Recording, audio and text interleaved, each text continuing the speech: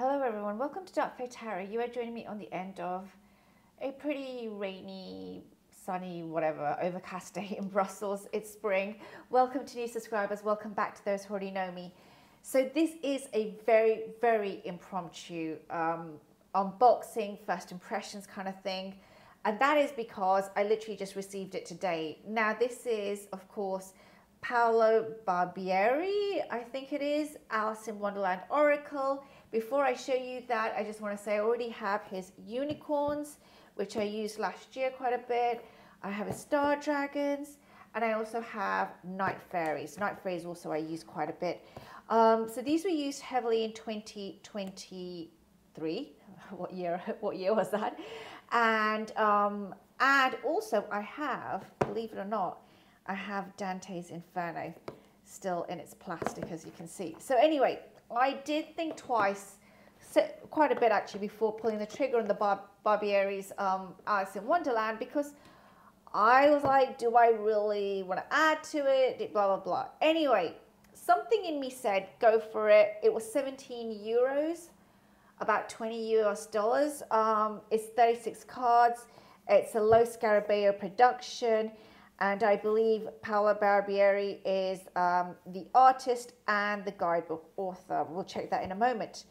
Anyway, I went and opened this deck. I've already taken the cell phone off. I actually got about halfway through the walkthrough uh, that I was just doing with myself, and I was like, I have to show this because this is, this is like, I don't know, this might be my favorite one by him. I don't know. Okay, so it's very plain on the inside there, you can see. This is the guidebook. We're going to take a look in a moment. I think, oh, it's text by Carol Ann Eshkenazi. Sorry, I, I got that completely wrong. So Carol Ann Eshkenazi is the guidebook author. And of course, now that I remember this name, and I did see it, um, she's also, as I recall, the creator for Tarot de la Nuit. She's the writer for that guidebook as well. And some other Lo Scarabeo decks. So interesting. If you have Tarot de la Nuit, this might also be a great companion, this deck already. Anyway, I now have Tarot de la Nuit. Something went wrong with my order. I ordered it recently. Something went wrong, so I don't have it right now, but there you go. So anyway, let's take a look at the cards because people, like I was just, I haven't even taken a look at the guidebook, but I just loved the cards so much. I was like, oh, I have to show these. Okay, so these are the backs. The deck is still in order, so we're going to have a look at it in order. And we're just going to go through each card. I'm just going to read them out and then we'll take a look at the guidebook. Um, it's typical Lo Scarabeo uh, cardstock. Um, you know, the, it might yours might come a bit warped. I don't know. This is 36 cards. Um, and quickly, just want to look at the guidebook. So I just will look at the back. The guidebook does come in um, English, you know, Spanish, Italian, and Portuguese. I think that's Portuguese. So yeah, it is going to be a guidebook that's multilingual. Okay, so the first one is Seeing a White Rabbit. Look at that. I saw, so the color, the green in this deck, oh, just, yeah. So this is Seeing a White Rabbit. And first of all, I just want to say the portrayal of Alice in this deck, I just really love because it's refreshingly different. It's a different look. It's a mature look. Uh, yeah, she's made she's been revamped right for this era and I think that's great. Okay, it says here down the rabbit hole. A little door to a new land. I love the dress in this actually. A drink me labeled bottle. I just love her clothing. I just this is a great fashion deck for me. But yeah, it's beautifully done. You can already see, right? Too many tears. A splendidly dressed rabbit. The little mouse.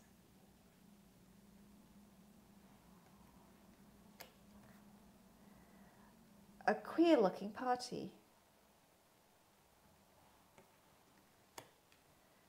Growing and growing. Bill the lizard. Sorry, there you can see it better.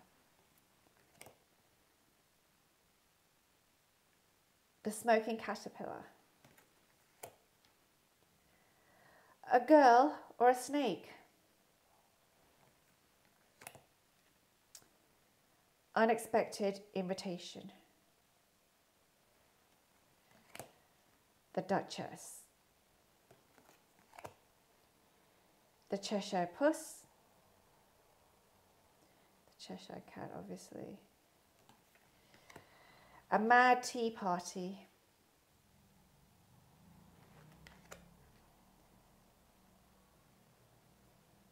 Let's get that in focus. It says here, a door in the tree.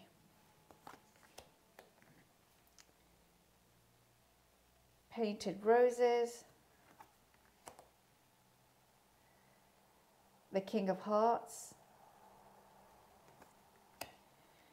The Queen of Hearts. Playing croquet. that that uh, hedgehog. the griffin. Oh, beautifully done.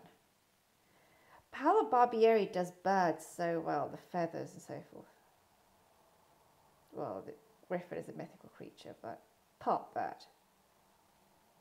Sorry, I want to make sure we get that focus from there. I'm trying to make sure it's focused, but there we go. The mock turtle. lobster quadrille, the Knave of Hearts, the Jewelry Box,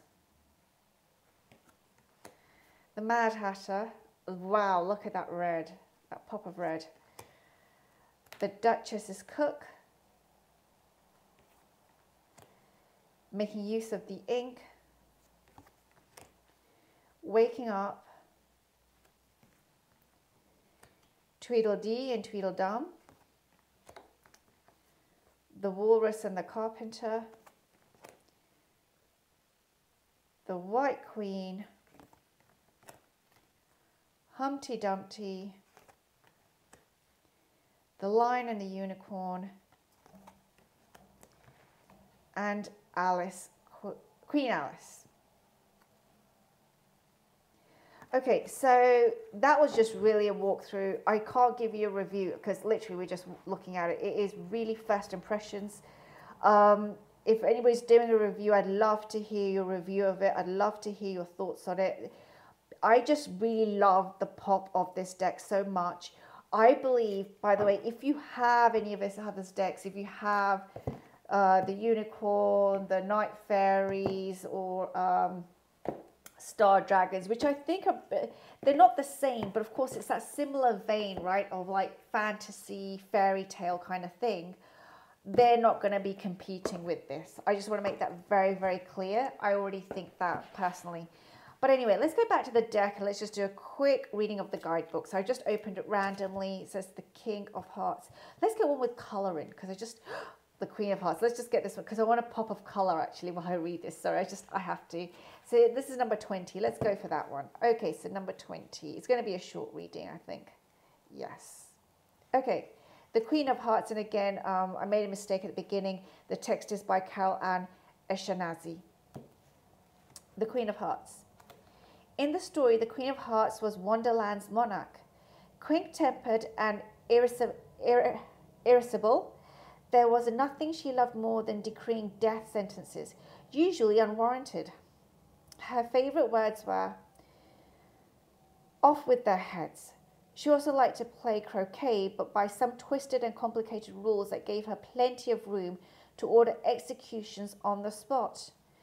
Later on in the story, Alice discovered that the Queen's mantra was sentence before verdict, meaning, well, well, well, Seems like someone is about to lose their temper, aren't they? And it is not such a good thing because right now your emotions are not guided, are not guides you should blindly trust or follow. Let this whirlwind, of, whirlwind sorry, of intense feelings calm down before doing anything else, before doing anything. You would only regret having acted too hastily and too emotionally. Key question Do you usually act on emotion or do you take the time to calm down before you act or speak? Wow, what a reading. Um, so yeah, I, that was a short reading but powerful and it had a journal prompt with it. So again, this is first impressions. I'm going to keep it short. There's no pairings or anything. Um, I'd love to do a fuller video on this, but I just, I was so enamored by the color and the art, to be very frank. Um, I was so enamored by it that I just really wanted to do a review, uh, not a review, sorry, a walkthrough and share it because I just think it's gorgeous. Um, and if anybody's out there contemplating purchasing it, um, I do know a friend has gone aboard it, so I'd love to hear her thoughts. I'm going to look forward to that. Um, and I'm sure there'll be uh, in depth reviews and pairings and whatnot going on. Um, but I really like it. So my that's my very first impressions. I love the art. I love the colors, the pop of colors we've got going on.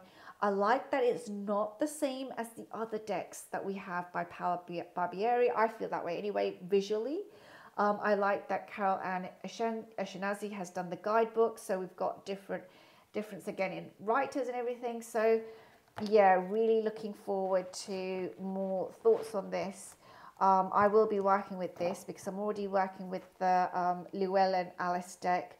As some of you know on Insta, that's my uh, next review coming up. Um, so yeah, just stay tuned. But this was just very impromptu. So thank you for joining me today. If you have, I wish you all a lovely weekend wherever you are and take care now.